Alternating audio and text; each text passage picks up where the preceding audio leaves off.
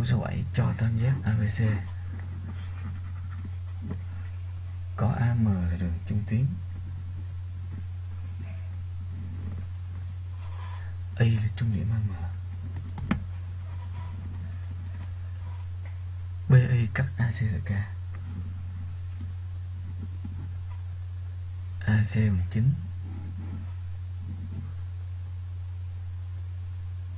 Như vậy AK sẽ bằng 3 cái hai bài toán cơ bản ở trong sách giáo khoa.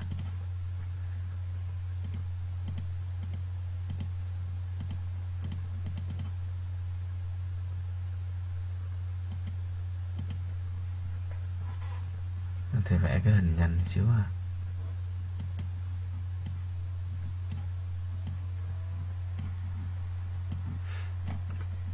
Rồi Tam giác ABC đây nha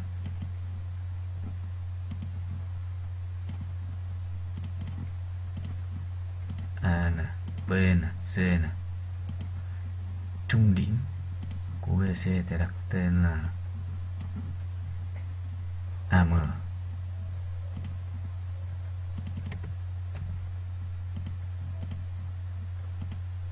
nối A với M.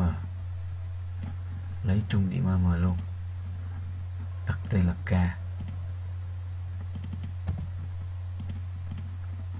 Rồi. TBK T tia Y là trung điểm AM chứ nhỉ? TBI Rồi, từ B tới Y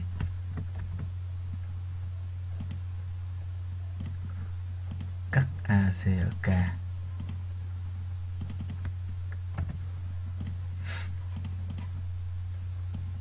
Cho AC bằng 9 Vậy AK sẽ bằng 1 phần 3 của AC là bằng 3 Chứng minh dễ thôi các em. Từ Y các em kẻ song song lên nè. Song song với BK ha. Từ M các em kẻ song song BK cắt ông AC ở, ở F này rồi M trung điểm BC MF song song BK như vậy là KF sẽ bằng FC trong khi đó IK song song với MF mà IA lại bằng IM như vậy là K là trung điểm AF luôn. Như vậy ba đoạn AK, KF và FC bằng nhau các em. AC chia làm 3 phần bằng nhau mà tổng độ dài bằng 9 vậy AK sẽ bằng 3